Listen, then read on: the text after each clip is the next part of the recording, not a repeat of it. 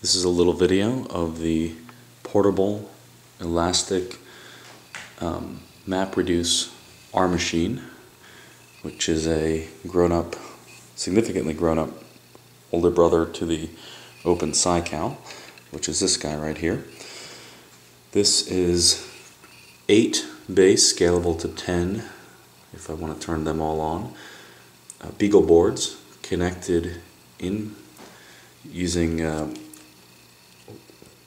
Ethernet USB connectors with red Ethernet cables down to three stacked USB hubs, all within a briefcase.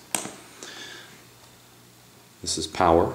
Power then routes down to another out outlet strip in the back, which powers these. Each of these powers one of these 10. It, all, it is all wired over here to a watt counter which is showing that it's running at 37 watts, which is about as much as a laptop would run. I have it connected here to my ThinkPad, and just to demonstrate that I can ping them all, I can run eShell, which is the elastic shell, and it will show that each one is running Linux with uname, or I can do uname all.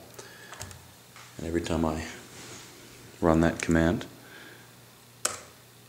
you can see the little cluster here. Since it's running Linux, it's technically a Beowulf cluster. Each one of these is running Angstrom Linux.